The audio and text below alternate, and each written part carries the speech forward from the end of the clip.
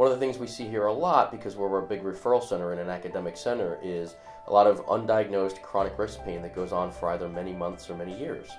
And one of the procedures of choice that we do for this is called wrist arthroscopy. And what we do is we put a couple of small incisions along the back of the wrist.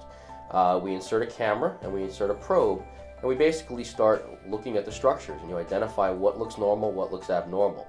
Now, the benefit of University Orthopedics is we have multiple doctors who do quality wrist arthroscopy who are very well trained in it in their fellowships uh, and, and do quite a bit of it in order to diagnose some of these uh, problems that are often missed in the outside world. So some of the common things that you'll find during a wrist arthroscopy is cartilage injuries, uh, which sometimes are missed on the MRIs, uh, partial ligament injuries, uh, carpal instability and midcarpal instability, and triangular fibrocartilage complex tears or TFCC tears.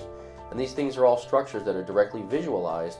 In addition, they're also stressed while you're looking at them under the camera, which is something that you don't get from a static MRI image or even an MR arthrogram. So typically, when you have a chronic wrist pain that's going on for a long period of time, has been undiagnosed or just isn't getting better, uh, and has failed conservative treatment. Typically, we start very conservative as well. Uh, sometimes we can do selective injections to try to determine what location your pain is coming from.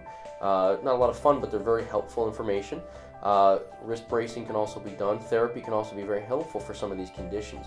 When that fails, and you have MRIs that are either normal or show one of these ligament injuries, or an MR arthrogram which shows one of these injuries, but also again, they can very commonly be normal, but you still have the pain. So just because you have a normal study doesn't mean that you don't have a problem going on. You know, it's really dictated by the symptoms.